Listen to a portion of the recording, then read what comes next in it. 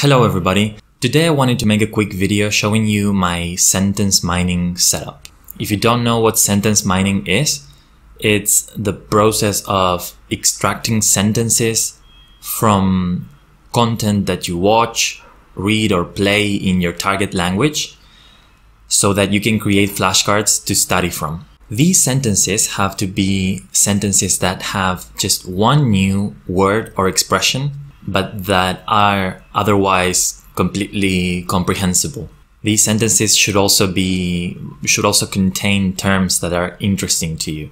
In this specific video, I'm going to show you how I mine sentences from an anime I'm watching, which basically qualifies as intensive reading because I'm not really listening to my target language, which is German, by the way.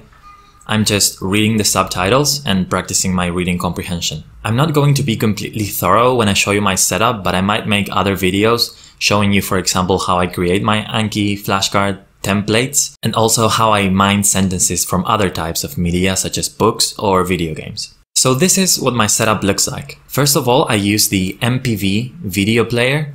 This video player has a lot of interesting features that make it easier to mine sentences. The most important one, for example, is that if you press A, then you press T, and then you press A again, you can enable or um, disable auto copy to clipboard. What this does is that every line of subtitles that you come across will be automatically copied to your clipboard. I'm also using Anki as my spaced repetition system where I create my flashcards. And I have a browser window open here where I use a dictionary to look up words that I want to study in my flashcards. The process is very simple. I just watch the anime until I come across a sentence that has a term that I think it's interesting and that I want to learn. This is a good example. I found a sentence that has a word that I don't know. And since this is already copied uh, to my clipboard, I can just paste the sentence in this field and I will select the term that I don't know and make it bold and then look it up in a dictionary. I will also um, copy the term once more in, in this field and I just copy the translation and I take a quick screenshot with ShareX of the moment and that's basically one flashcard created. I simply add it and, and that would be it.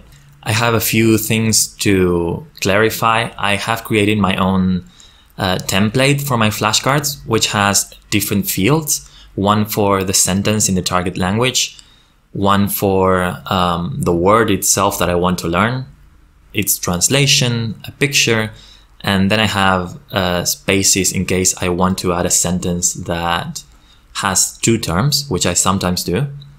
And also uh, there are spaces to add audio, which I'm going to talk about later.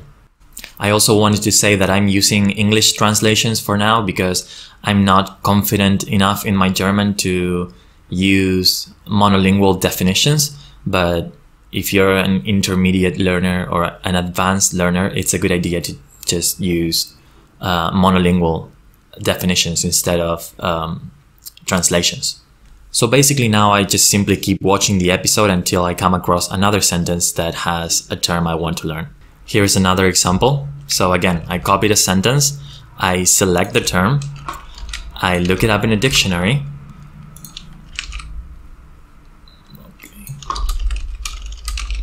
I always try to add terms without any inflections, so in the singular and if it's a verb in the infinitive form um, I add the meaning and I take a screenshot. And that's another flashcard created. As you can see, there's a red pin here on the video player.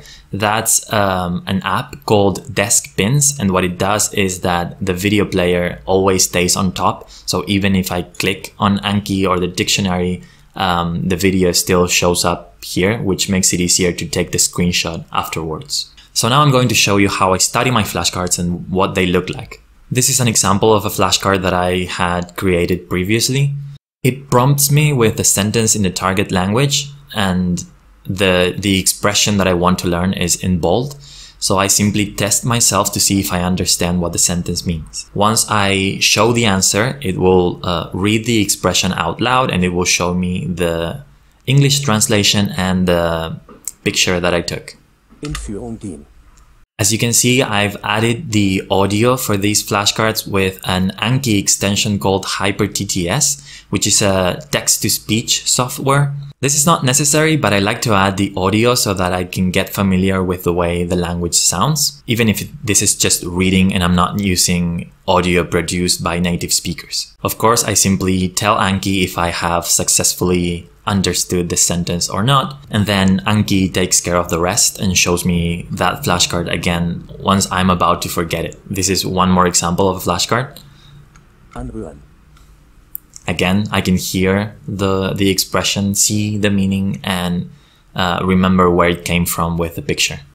You can, of course, do this with all kinds of media. I'm using anime because at the moment that's what's interesting to me, and it's important that the content that you are using to study is engaging. In the future, I am going to use content in my target language so that I can create flashcards that prompt me with audio instead of just text, but that's going to be for another video probably. I also find it really useful that you can study these flashcards from your phone um, once you have synchronized your account with the web. I'll probably make more videos showing you how I study German and how I engage with the content that I watch and read in my target language. So that's about everything I wanted to say today. I hope some of that was helpful or at least interesting to you, and I'll see you in the next one. Goodbye.